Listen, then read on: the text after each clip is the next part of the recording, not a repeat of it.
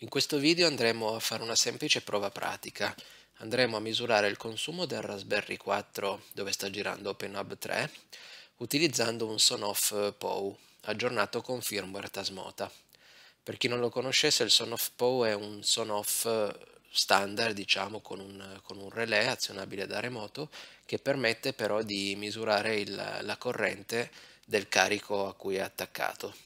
Poi, sempre per fare un test, andremo a integrare questo SONOFF in OpenHub 3, andando quindi a memorizzare i dati acquisiti su un database Influx creato ad hoc per visualizzare i dati su dashboard con Grafana.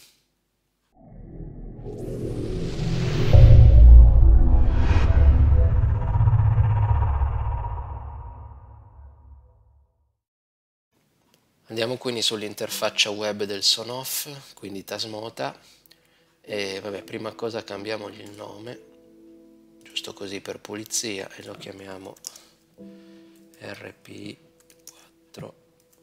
Power Monitor. Eccoci qua. Vedete comunque che sta funzionando perché mi sta rilevando la, la potenza consumata dal Raspberry. Andiamo a configurare quindi adesso l'MQTT che è quello che ci interessa di più quindi gli mettiamo l'indirizzo IP del nostro nuovo server MQTT lasciamo tutto così come era prima e come topic ce ne creiamo uno nostro. Test eh, power rp4 salviamo e andiamo a verificare che si connetta sembra che ci sia qualche problema, ma forse perché ho giù l'istanza Docker de, di Moschitto, quindi andiamo sul solito portainer, containers, e infatti è stoppata. Quindi la avviamo e vediamo se si riprende. Ok, si è ripreso.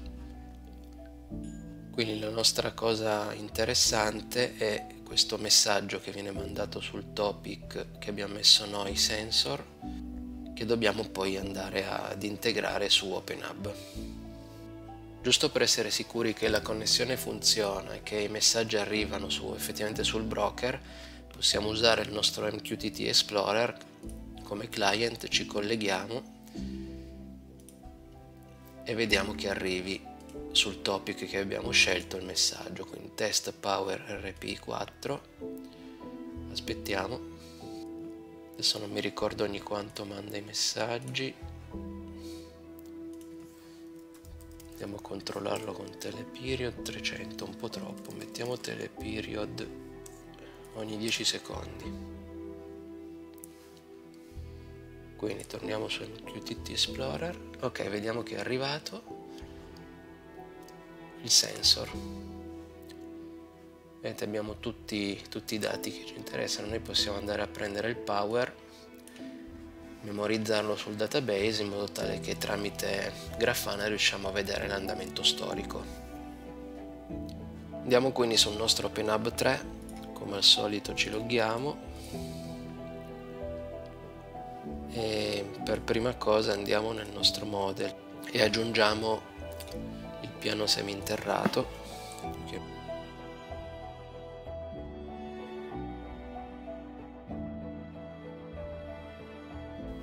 a questo punto andiamo ad aggiungere la connessione al Son of Pau tramite MQTT quindi dobbiamo aggiungere un nuovo broker che si colleghi come bridge al nostro server.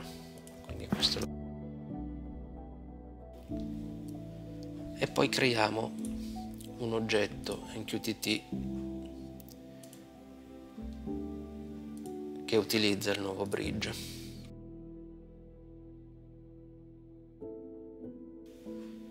Quindi entriamo nel nostro nuovo oggetto, andiamo sui canali e aggiungiamo un channel.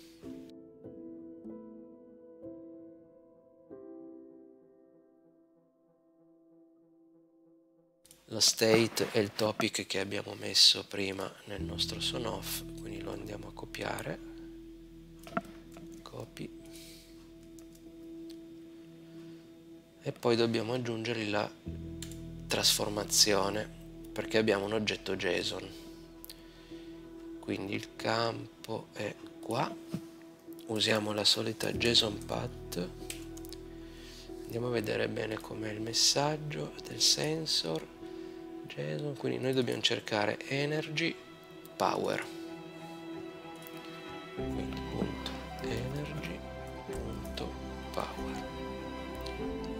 Creiamo e a questo punto aggiungiamo eh, un punto al modello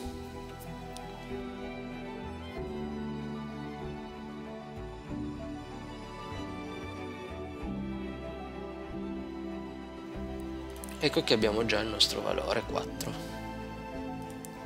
che corrisponde andiamo a vederlo meglio nel home page. Adesso è 3 adesso è 3 ok sta funzionando tutto quindi. Adesso dobbiamo crearci il database influx per eh, poter andare a memorizzare i dati storici e poi farli vedere su una dashboard. Quindi andiamo su portainer.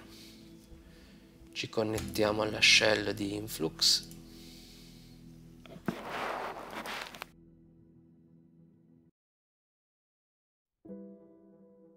giustamente mi devo autenticare.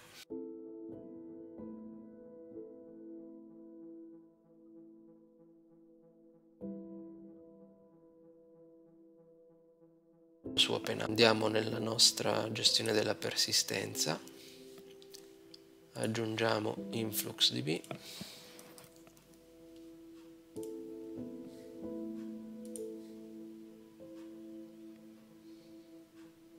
Ok, installato, adesso lo dobbiamo configurare, quindi sul nostro Raspberry andiamo nella cartella di OpenHub, etc OpenHub, cartella Services e modifichiamo il file influxdb. Andiamo a mettere come user e password quelle di amministrazione e il db si chiama test rp4 salviamo e andiamo a vedere sul nostro influxdb se vengono create le tabelle. Ok quindi InfluxDB è stato attivato come motore di persistenza, in automatico sono state create le tabelle relative agli item che producono dati e sicuramente adesso si staranno popolando, quindi andiamo a vedere quella che interessa a noi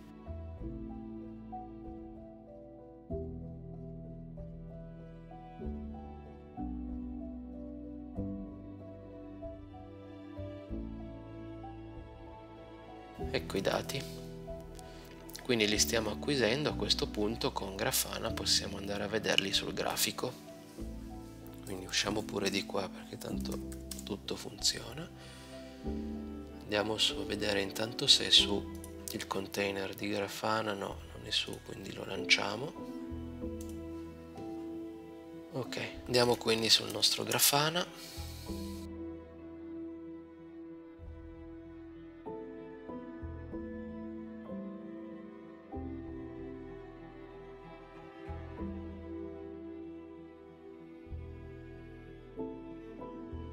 test ha funzionato quindi possiamo andare a creare la nostra dashboard con un grafico ci diciamo di leggere dal nuovo data source.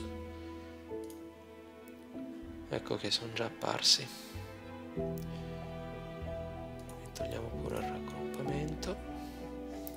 Adesso abbiamo pochi dati però li vediamo in pochi clic abbiamo tirato su un sistema di monitoraggio di un consumo energetico. Ok, abbiamo fatto passare un giorno in modo tale che il nostro influx DB acquisisse i dati del consumo e adesso andiamo a vedere su Grafana come vengono visualizzati nella nostra dashboard. Andiamo a cercare la nostra dashboard, quella che abbiamo creato ieri che io poi avevo salvato ed eccolo non è un granché perché ci sono tantissimi punti stiamo vedendo le ultime 24 ore effettivamente il nostro son off eh, inviava un, un punto di consumo ogni 10 secondi con il teleperiod che avevamo settato. Quindi vediamo se riusciamo a migliorarlo un pochettino. Io normalmente cerco di visualizzare tramite una media mobile di 10 punti. E dovrebbe venire un pochino meglio. Ok eccolo qua. È già molto più chiaro. Volendo si può trasformare linea, le linee in, in bar in, quindi barrette che hanno un pochino più senso quando si vede un periodo più, più corto quindi niente se torniamo a vedere il grafico a linea e torniamo alle 24 ore vediamo che il nostro Raspberry ha consumato dai 3,5 ai 6 watt